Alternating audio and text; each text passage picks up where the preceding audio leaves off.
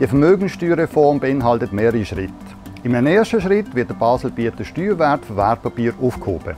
Das ist schon mehrmals politisch gefordert worden. In der Folge werden neue Leute in Vermögensbesteuerung hineinkommen und die, die schon Vermögenssteuer zahlen, zahlen mehr. Im nächsten Schritt wird das jetzt kompensiert, indem der Vermögenssteuertarif gesenkt wird und der Freibetrag erhöht wird.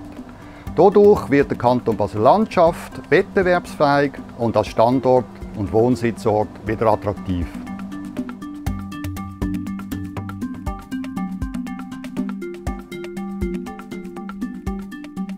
Im Kanton Basel-Landschaft zahlen etwa 0,2 Prozent, 36 Prozent der Vermögenssteuer, also rund 40 Prozent. Das entspricht in etwa 330 Personen, die ganzheitlich zusammen etwa 70 Millionen Franken Steuern zahlen.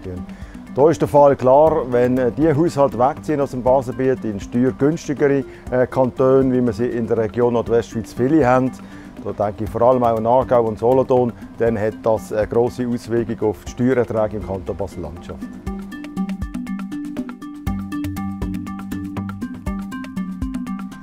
Wir haben eine Steuerreform mit Augenmaß vorbereitet.